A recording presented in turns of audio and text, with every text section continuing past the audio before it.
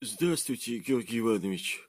А, долго мы не виделись, и в последний раз в Петербурге, к сожалению, э, я не смог э, подъехать к вам.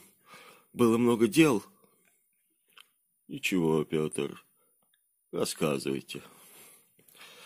Э, знаете, после стольких лет обучения у вас я чувствую какую-то синхронизацию с вами. И более того, честно сказать, чувствую, что мы с вами фактически единое целое. Или можно сказать, что я стал обладать теми же возможностями, что и вы. У меня даже появились некие признаки, похожие на вас ну, практически все то же самое. Понимаете, о чем я? Эх, Петр, конечно, я понимаю, о чем вы. Да только есть кое-какие моменты, которые стоит вам знать. Да, вы внешне немного похожи. У вас есть те же механизмы управления, кнопки, крутилочки и лампочки. И вот, глядя на них, вы приписали себе те же свойства, что и у меня. А вот теперь немножко я вам скажу о различиях. Дело в том, что вы без каких-либо поступающих у вас сигналов сами воспроизвести ничего не можете. Вы всего лишь memory man.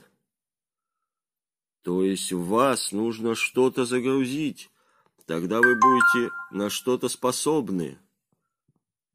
А у меня большие возможности. Здесь есть и запоминающее устройство, и воспроизводящее, и собственные звуки, и возможность эти звуки преобразовать. Ну, я не буду описывать вам всех возможностей, но их, поверьте, очень много. И самое главное, скажу я вам, что эти возможно возможности, опять-таки, не мои, а только того, кто сможет все это скомбинировать, скомпоновать и создать из этого что-то. Называется этот человек композитор. О, да, Георгий Иванович, действительно, я об этом сразу не подумал. Но теперь мне придется хорошенько изучить, хорошенько изучить этот момент. Спасибо вам, что вы просветили меня. Теперь я знаю, что я всего лишь... Мама и мам.